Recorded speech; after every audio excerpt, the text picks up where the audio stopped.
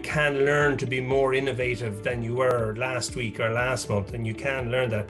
But you can also learn to be better at dealing with people. And a lot of people who have dealt with me over the years would be amazed to hear anyone saying I was good at dealing with people. I prefer dealing with technology and machines than people, but um, but you do have to deal with people. If you're in innovation, you're always in sales because you're either selling to your own management team, you're selling to someone inside the organization, you're selling to a customer because it's an innovative new idea and they're going to have to take a little leap of faith to come on board. Or even how you and I got to meet, uh, and uh, where uh, you know we, we, we got a, a group of motorcyclists to get involved in collecting PPE because there was a, a, a chronic shortage uh, back in, in 2020.